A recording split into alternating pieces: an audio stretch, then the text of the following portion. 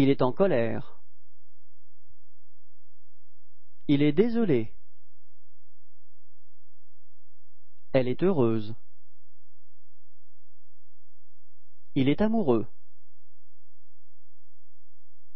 Il est joyeux. Il est étonné. Il est fâché. Il est triste.